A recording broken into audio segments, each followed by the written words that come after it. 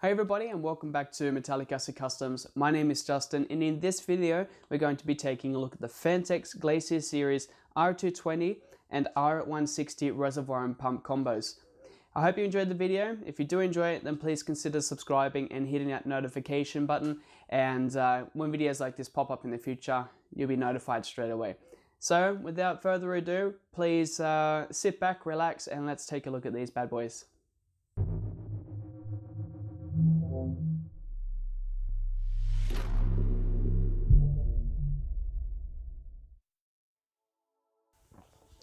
So let's go ahead and unbox the Glacier R220. This is the, uh, the bigger version of the two reservoirs that are currently being sold. Um, so we take off the lid and we're met with some thin foam. And the presentation here is actually really nice. You see the reservoir is actually inlaid in this very, uh, very soft foam. You can lift that straight out and pop that onto the small thin foam beside it. Um, just on the left here, I can see that there is an RGB strip. And here we have a connector on one side. This is covered in rubber on the one on this face as well. So we'll see what happens with this in a second. Underneath all of this foam packaging, we have what looks like to be a 120 and 140 millimeter mounting bracket. This is so that you can mount it onto any 120 or 140 millimeter um, fan placement or radiator placement.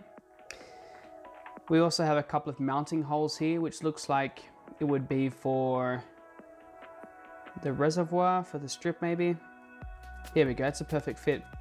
So via these holes within the strip, you can actually mount the reservoir and I would assume that the the holes on the side of the reservoir would actually match up with the holes on the RGB strip. And you would create a sandwich like this.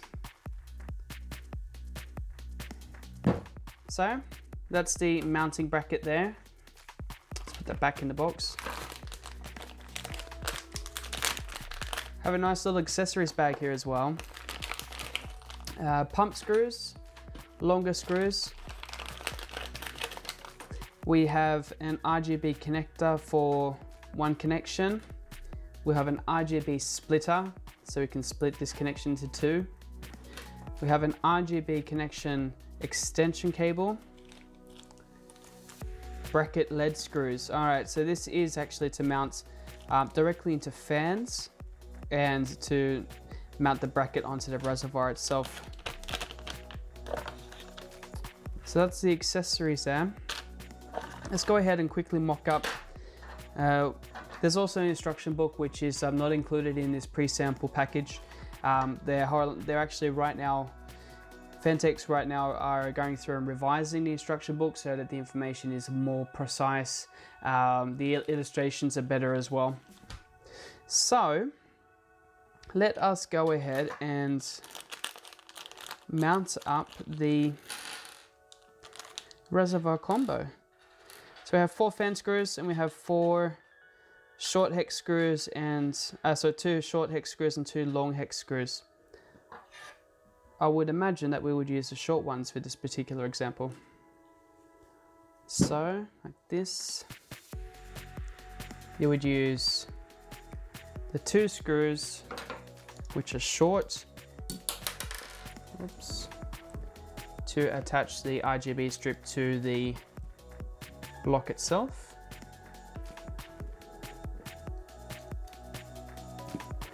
Like so. Now depending on your configuration as well, what's actually really handy about this bracket is the fact that you can place it anywhere in correlation to the block itself. So you have um, very flexible mounting solutions and because these are not set holes, these are actually slits in the bracket itself then you can slide uh, the bracket up and down as well and get that, that fine tune in that position. So let's say, all right, I would like to install the bracket. Uh, we'll just install it in the middle just for the sake of simplicity. So I take my longer screws And these ones attach the bracket to the RGB strip and attach the entire kit to the reservoir itself.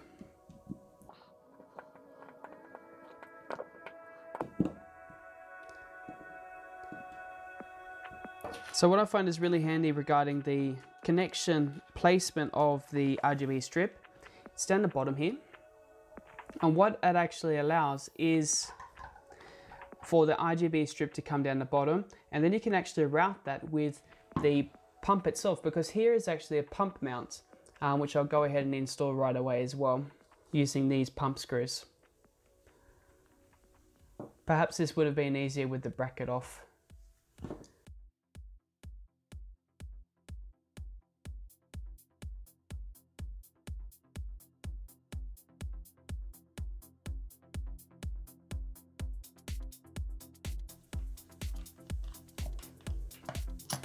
So put those screws to the side. We have a an aluminium, let's bring this up here. It's an aluminium plate and this sits on the back of the pump and this acts as a heat sink, just like the rest of this is a heat sink as well. Here we have an acetal spacer and this basically acts as, um, oh, it's a, it's a spacer. It, it just makes it so that this uh, particular plate is flush with the rest of the plate when a pump is not used in this configuration. So there's already an O-ring in place, just make sure that it has not moved from its groove. Well, there is no groove there, so we just put it on the pump.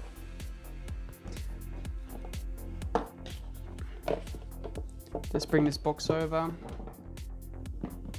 We can place it there So here I have a run-of-the-mill Laing DDC pump. This is actually DDC 1T, the 12 volt pump, non-PWM version. Make sure that the O-ring is in place. And then it is as simple as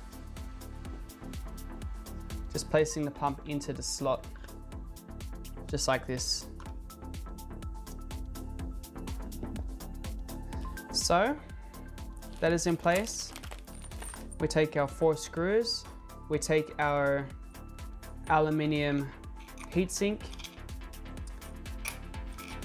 we just pop in our four screws and this will tighten the heatsink to the back of the DDC pump and just sandwich the entire lot together.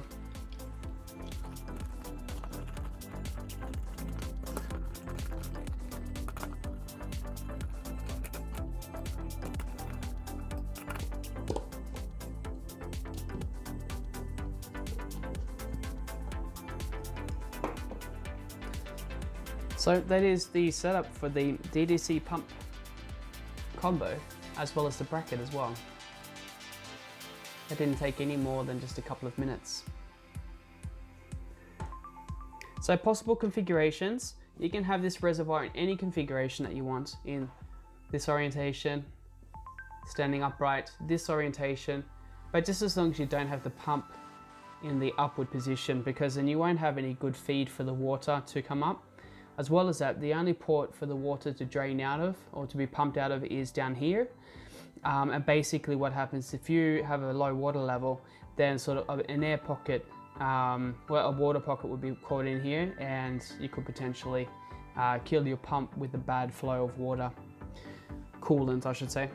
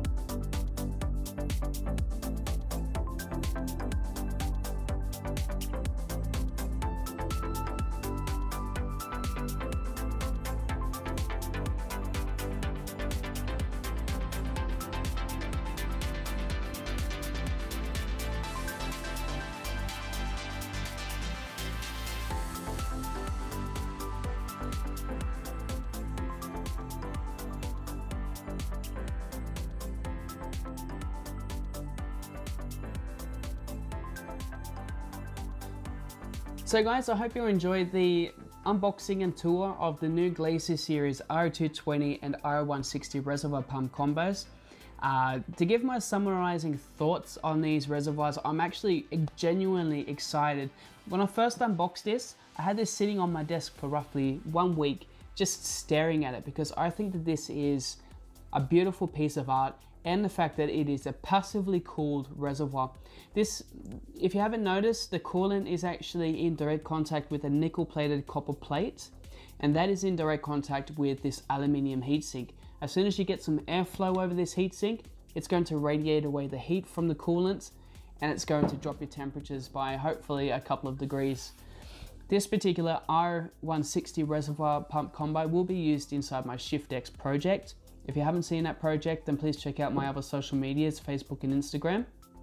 I've just started that project and this will be the perfect uh, addition to making sure that I have a really standout clean build and supporting some of the best hardware that's in the biz right now. So I'm really pumped about using this one.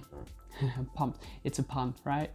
Uh, so with that said, I hope you enjoyed the video. If you do like this type of content, then please uh, make sure you like and subscribe this video and I'll be sure to push out more content like this for you in the very near future. Um, on top of that, I have the ShiftX project, which will be exclusively uh, videoed uh, as, a, as kind of like a vlog type of format and it will be uploaded in incremental parts as, as soon as I finish those parts off. So please stick around for those. Hit notification if you want to see those come up straight away as soon as they're available on YouTube. So with that said, my name is Justin. I'm from Metallic Acid Customs. Thank you so much for checking out this channel and I hope to uh, see you at the next update. Take care.